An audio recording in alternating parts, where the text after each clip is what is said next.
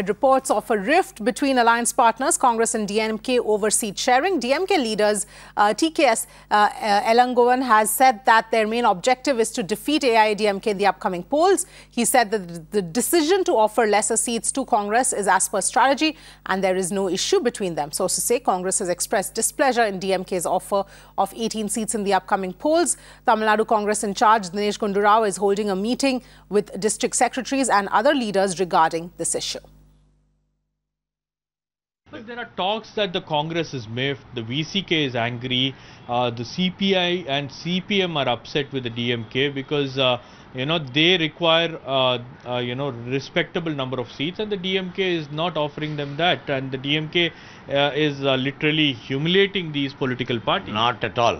Not at all. We have never humiliated we, our alliance partners in our history. You see, when I say I can contest 10 seats, and the other party out, out of the nine parties with us if we give them our 10 or 20 seats or 30 seats to everybody the number with which we are contesting will go down. We want to eliminate ADMK our top priority is to change the government in the state. So with this lesser number there may not be a possibility. There that is our strategy. It is not an insult to the political parties. It is a strategy DMK has planned to eliminate ADMK from power from the state. And what do you say, sir? There are reports that the Congress has called for a meeting, and even there are talks that the Congress may walk out of the DMK alliance. Uh, is that uh, you know something that you are we'll worried have about? to wait and see. These are all media hypes. None of the members of the team which was uh, which was created, formed by these political parties which are holding discussion with the DMK had made such statements. It is the others who are making such statements which I need not respond.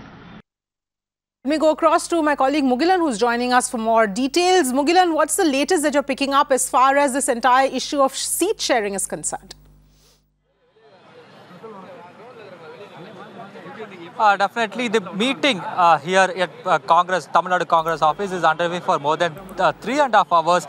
And now, the uh, Tamil Nadu in charge, Dinesh Gundu Rao, Veerappa Moily, all holding talks with the district secretaries and the other uh, leaders regarding the seat sharing negotiations because they are quite unhappy with the way how DMK has allocated seats to them. The, now, Congress is demanding at least 30 seats uh, for Congress for the assembly elections. But now the talks are underway. They are trying to get opinion uh, from the leaders also. And we are joined by former uh, Tamil Nadu Congress leader uh, Thangkabalu. Sir, how is the talks are going on, sir? There are there's a very clear indication that DM, uh, Congress is not happy with the way how DMK handled their seat in negotiations.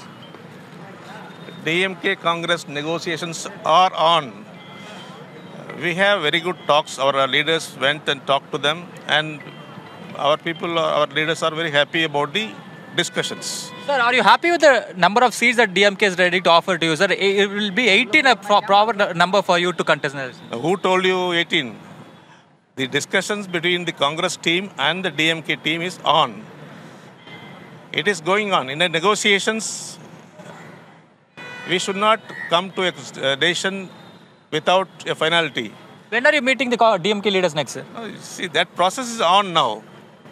The PCC president will inform you certainly the next meeting time and all.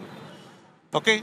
Thank you. Uh, we just heard it from the uh, former Tamil Nadu uh, Congress president also. He also confirming the talks are still underway, even though both the party leaders, we just heard it from uh, DMK leader TKS Elangovan also, who also said that there is no problem between the alliance partners, but still we are seeing the kind of negotiation that underwent between both the party leaders. There was at least three rounds of talks between both the leaders. Still a negotiation, so still a consensus was not reached. And that is why, as, as the, both the parties couldn't reach a consensus only, now we are seeing the kind of discussions that the Tamil Nadu Congress is indulging in. As I, as I earlier said also, the meeting is underway for almost three hours. They are seeking opinion from various districts about how they should go about the seat sharing negotiations. And that after this talks is getting over here at the party office, then the Congress leaders here, the Delhi Congress leaders who are here in the Tamil Nadu Congress office will decide when to go meet the DMK uh, leaders at the uh, DMK office and then uh, carry on their seat sharing negotiations.